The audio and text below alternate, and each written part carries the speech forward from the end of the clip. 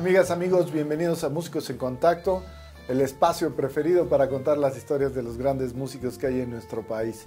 Y en esta ocasión, un extraordinario trompetista, gran músico, pero antes permítanme presentarle a esta extraordinaria mujer bellísima y radiante Janine Aney.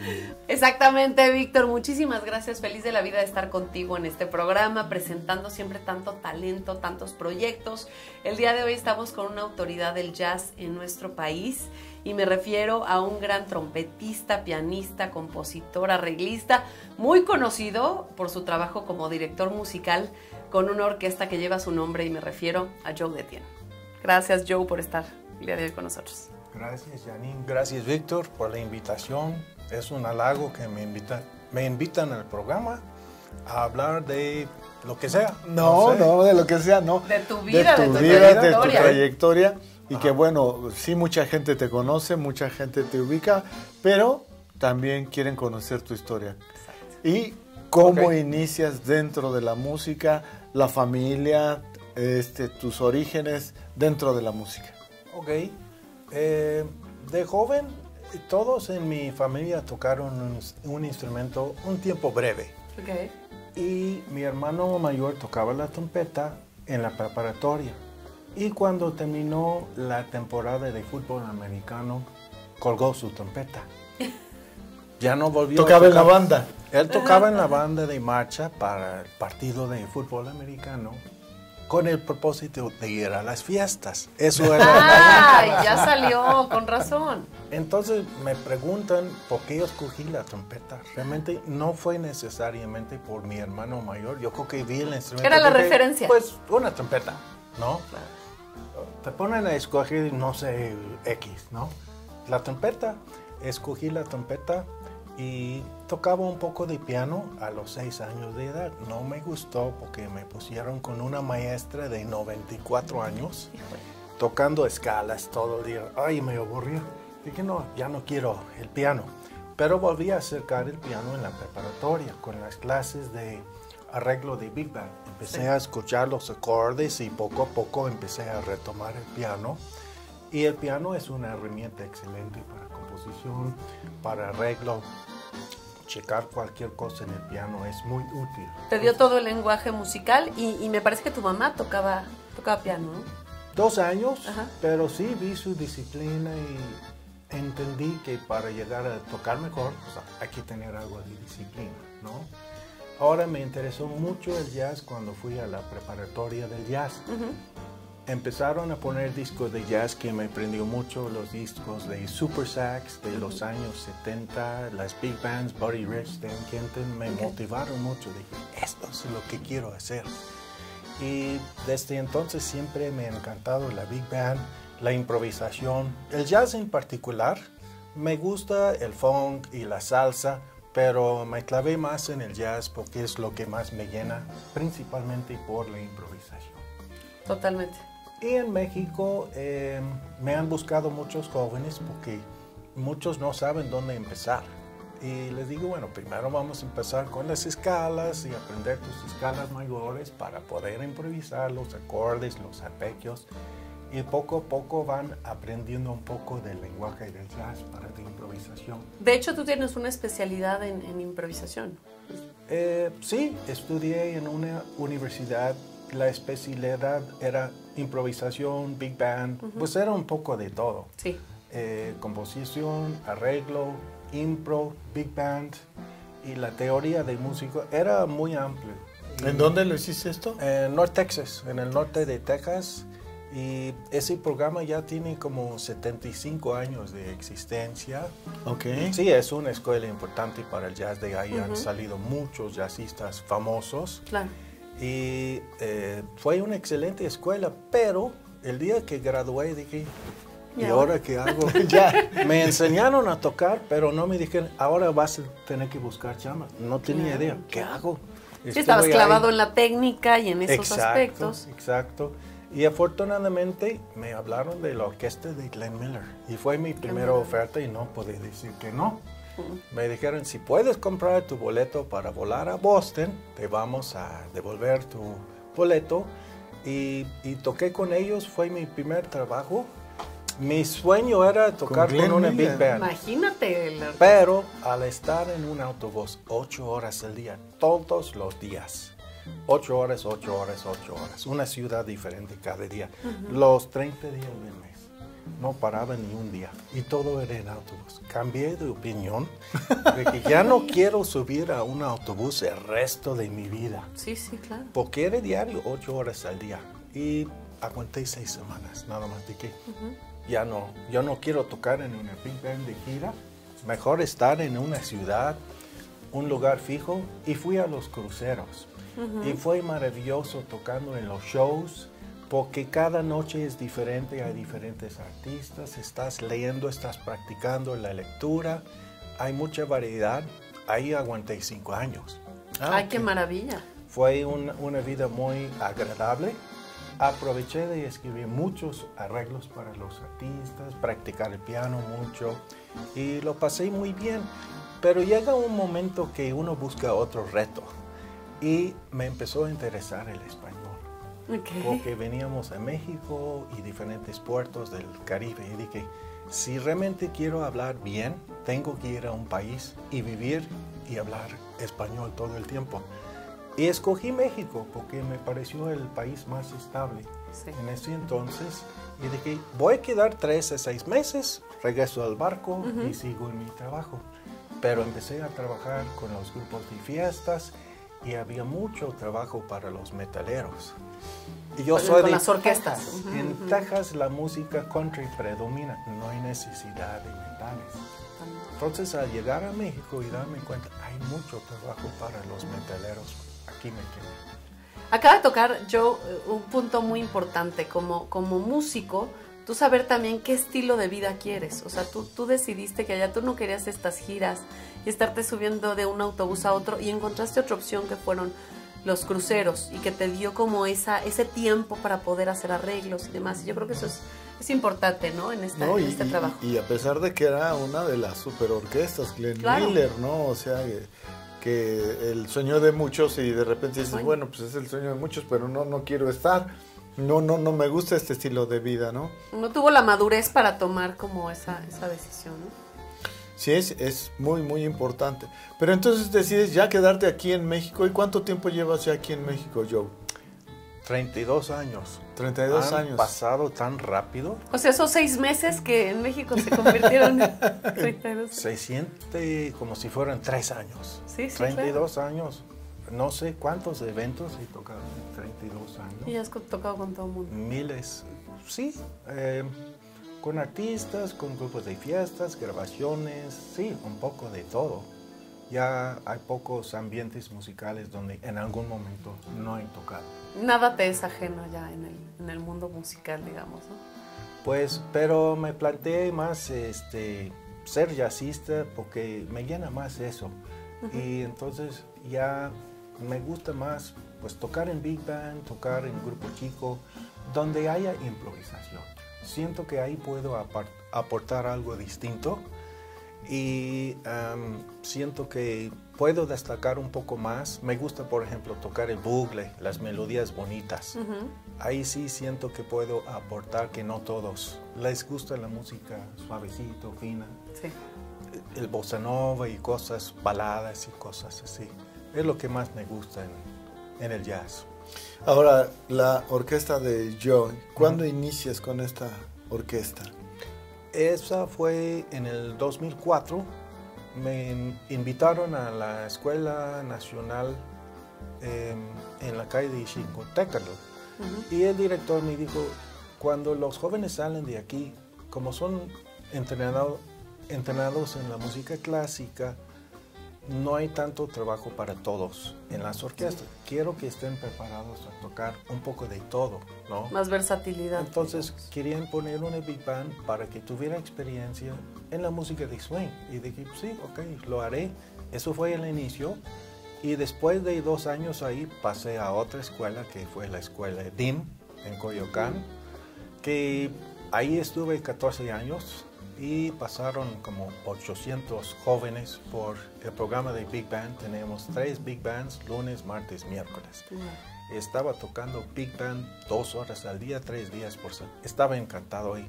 Vino la pandemia, tronó la escuela y pues ya otra vez nada más me dedico a, los eventos y lo que sale, como todos los músicos. Ahora yo con esa, perdón, con esa orquesta, ¿qué tocaban? Eh, ¿Tocaban arreglos tuyos o...? Sí, eh, música original, música conocida y ha llegado a ser más hoy en día que casi lo único que piden es Frank Sinatra y Michael Bublé. claro. O sea, ya la Big Band en México ha llegado a ser un estereotípico, que la gente siempre pide eso. Exacto. ¿Eso por qué? Porque no es un mercado muy común porque no hay tanto conocimiento de. no hay tanto conocimiento sobre lo que es este las, big bands y todos los temas de big band que es complicado porque también es complicado tocarlo uno tocarlo y otro el darlo el darlo a conocer dentro del mercado pues es más fácil mover a 5 o 6 personas que mover a 18, 20, 22, 25 personas. Igual vender, vender una big band para eventos y demás también tampoco es fácil. Es, es, complicado. Y la, música, la música para mí no lo, no lo trato tanto como negocio, yo lo trato como para satisfacción musical. Así es. Entonces siempre he querido hacer más cosas originales y más cosas que nosotros los músicos nos gusta. Entonces sí me ha costado, me ha costado trabajo tocar lo que la gente quiere siempre, porque siempre son las mismas. Sí. Claro, y cansa, hacer el mismo repertorio siempre, más cuando eres un apasionado de la improvisación, es como, bueno, esto es lo que la gente pide, pero no me llena, ¿no? Sí es, encontrar ese balance ahí.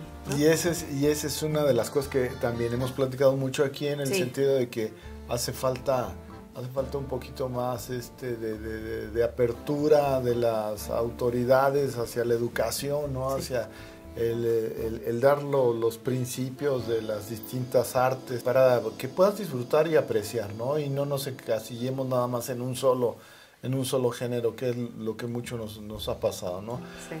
La Big Band de Joe de Tiene es una Big Band reconocida eh, aquí, aquí en México y los temas son...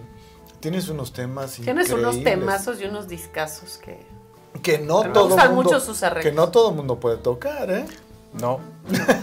no, efectivamente. A ver, yo le quiero, yo le quiero hacer una, una pregunta a Joe. ¿Cómo, cuando tú eliges a un nuevo elemento, digo una cosa es hacer la orquesta con estudiantes, ¿no? Pero cuando tú eliges a un nuevo elemento para integrar tu orquesta, ¿En qué te fijas de cada sección? ¿Qué buscas para, la gente que ve en cada sección? Primero que tiene interés en hacer las cosas bien y que no trata la música solamente como negocio. Okay. Que lo hace por el gusto musical. Y eso lo noto en el músico. Como dicen, si nada más es huesero o la verdad le apasiona la música, que quiere improvisar, que quiere hacer algo mayor de lo que requiere el trabajo, ¿no?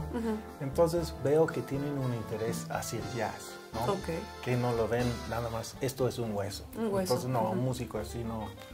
Porque ensayamos mucho cada semana y es, es más por gusto, ¿no? Sí. Que veo que tienen un interés en superar y que pueden tocar en equipo, que pueden frasear igual, que están dispuestos a acoplar al equipo y no tienen actitud de yo soy el solista y, los demás, este, no. Tenemos que trabajar en equipo para que suene bien. Totalmente. No, no, no, y la verdad es que tener control sobre una orquesta no es cosa fácil. Una cosa es un proyecto pequeño, pero es, demasiada gente, ¿no? De pronto hay elementos que te ponen en desorden a todos, entonces, bueno, hay que tener control ahí. De repente ya quieren ser dueños de la orquesta. Exacto, exacto, no es fácil esa dirección. Sí. No es nada fácil. Sí, ya aprendí no preguntar la opinión porque hay, hay 20 opiniones y cada opinión es diferente. Y es como si me confunde más. 20 solistas, entonces 20 egos y fácil. Sí, es como cuando vas a o quieres ir con la familia al cine y preguntas, "Vamos al cine, ¿qué película si no, no preguntes. Cada quien tiene su gusto y cada quien, no, ¿sabes qué? Vamos a ir al cine, vamos a ir a ver esta película. ¿Y se acabó? Sí, sí, sí, no, no hay que preguntar. Ahora, Joe, eh, de los trabajos que has hecho, bueno, a mí hay muchas cosas que me encantan. Uno de los, en cuanto a arreglo, a mí me gustó muchísimo el trabajo que hiciste con, con Iraida Noriega. Sí. En este gran, gran disco que a mí se me hace de, de aquellos que han marcado el jazz en México, este de boleros. Sí. Platícanos un poquito de, de, de ello.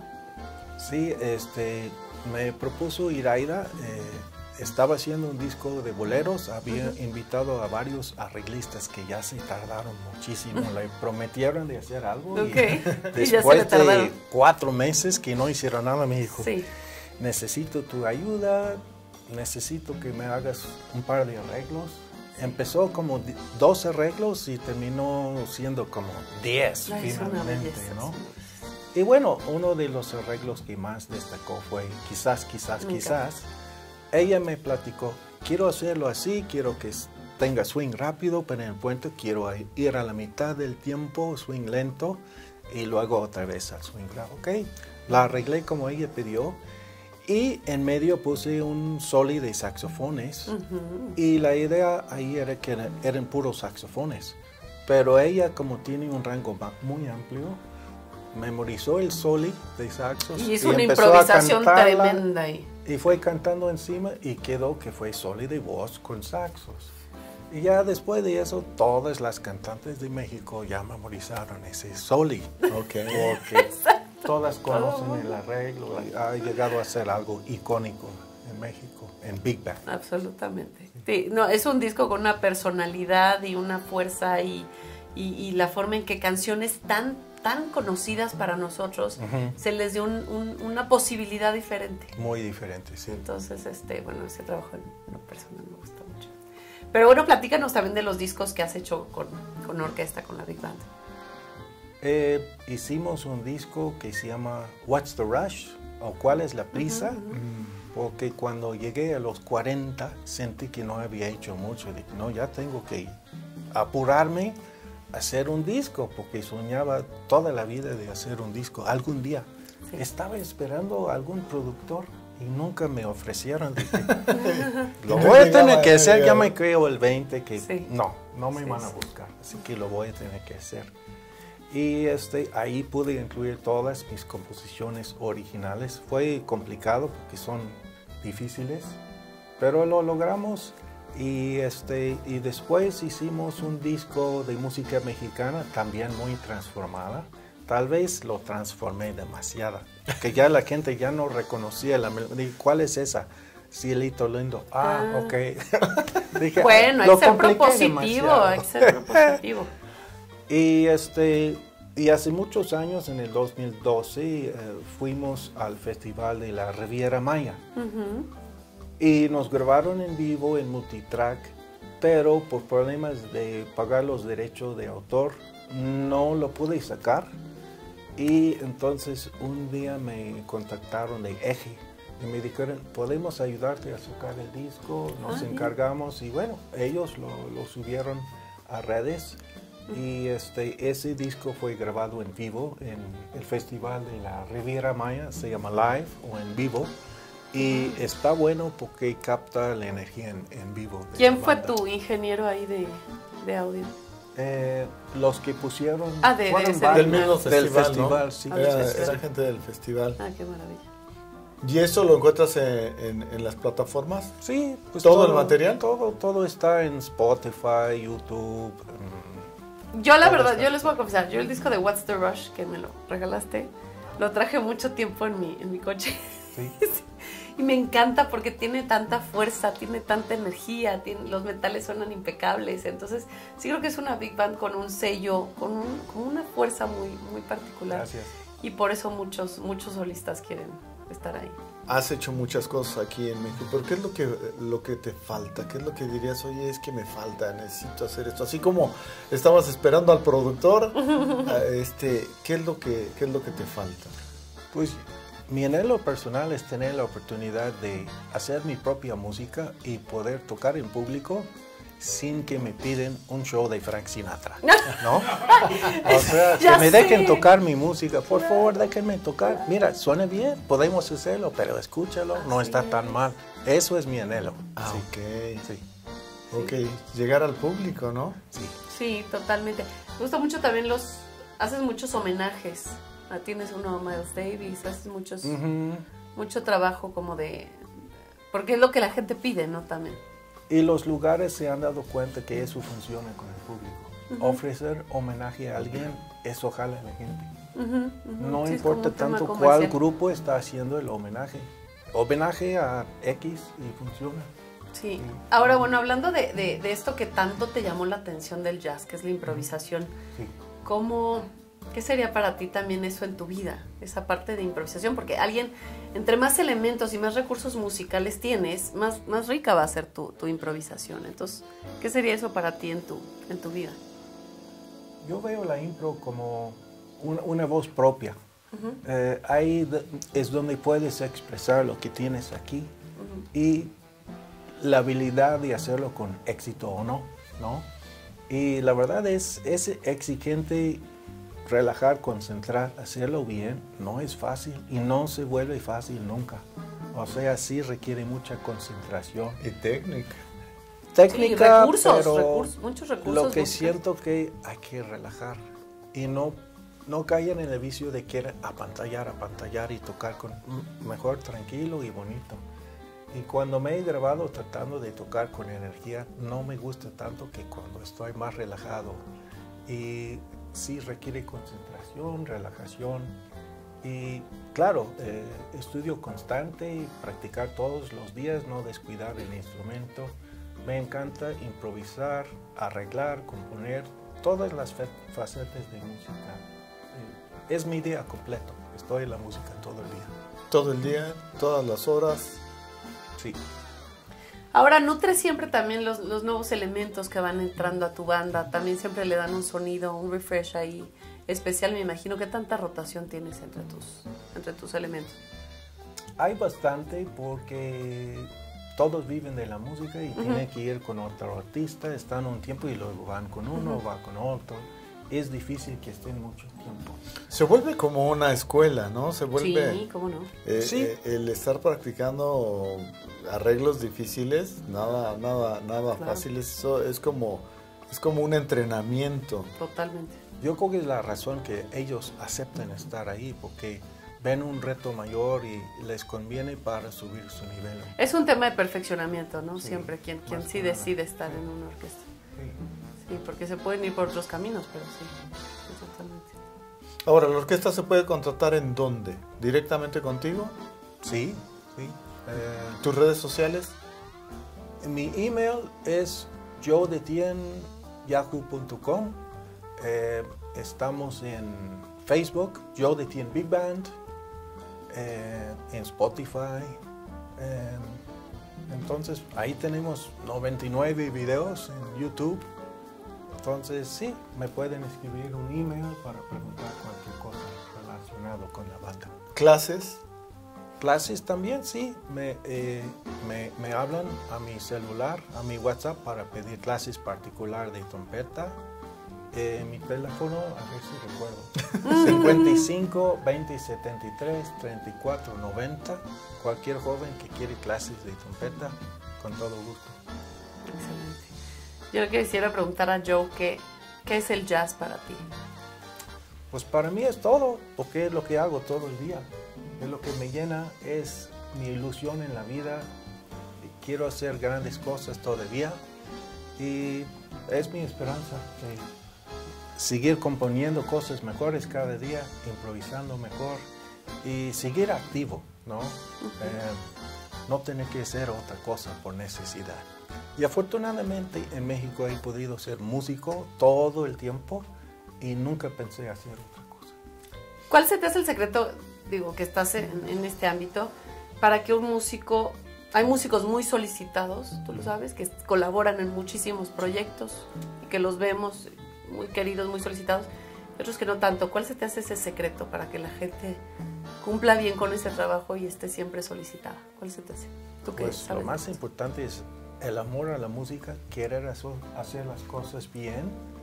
Y yo creo que los músicos más admirables de todos son los que tienen mucha disciplina, son organizados, son disciplinados y, tocan maravilloso. Entonces todo el mundo habla a ellos porque tocan muy bien. Son garantías. Son buenas personas, son cumplidos y esos son los más solicitados. Dentro de tus experiencias, que obviamente tienes muchas, Joe, este, eh, ¿alguna que recuerdes y que digas, oye, recuerdo mucho esta, esta vivencia? Pues yo creo que en cuanto al jazz y los conciertos, el Festival de la Riviera Maya en 2012 fue como que la cima. Para el Big Band fue el concierto más emocionante y me destaco mucho porque la banda eran muchos jóvenes, tocaron con mucha energía, tocaron muy bien y el público respondió bien y la mayoría, la mayoría del repertorio era canciones originales y fue muy gratificante ver que la gente gustó. Que sí, sí está, o sea, sí la gente si tiene acceso a esta música, sí le puede llegar a gustar. Sí, no, definitivamente yo nada más digo, dame chance, una vez que escuchas la banda te va a encantar. Y sí. Sí, dame, la oportunidad. Sí. Llegamos a estar en algún momento, y ahorita que veo yo me acuerdo, con Roberto Aimes en este Vocal Jazz Trio, y tú tocabas trompeta y también tocabas piano. Ajá. Pero, pero normalmente no, en público no lo, no lo haces tanto, ¿verdad? Ya, ya no, ya abandoné el piano, ya me dedico más al arreglo y composición. Y desde hace cinco años ya, ya no practico el piano. Sí, qué interesante. Pero sí, en ese es de los pocos este, como proyectos, ¿no? Donde sí, sí esa, Tengo el anhelo de retomarlo, pero luego me ocurrió una idea musical y prendo la compu y empiezo a componer y, claro. y ya pasó el día y no toqué el piano. Total. Que esa es una, esa es una parte bien interesante, ¿no? La tecnología, cómo ha hecho que este también utilices estas distintas herramientas, ¿no? Sí. La computadora y también pues ya hoy, en día tenemos que aprender a editar nuestros videos, hacer el póster para el, concierto, todo. Ya hoy en día... Y las herramientas que ya están en los celulares para editar tus videos, y entonces sí hay que saber de la tecnología para aprovechar. Así es. Era lo que preguntábamos el otro día también a, otro, otros, otros compañeros que lo hemos hecho, ¿no? ¿Tú cómo ves el, el futuro de la música con la inteligencia artificial? Em, nos puede ayudar si, si lo utilices a tu favor de buena manera.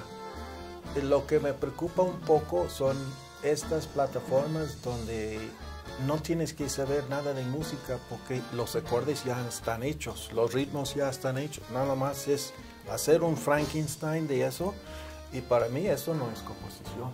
Y lo venden como tú puedes ser músico y con este programa el ritmo y la armonía, y, pero no tienes que saber ni de armonía, de ritmo, de nada y eres compositor. ¿No?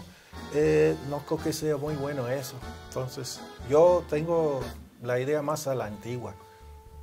Entender teoría, técnica del instrumento y no pensar que por las herramientas de la... Por obra y gracia, eh, voy a ser compositor, ¿no?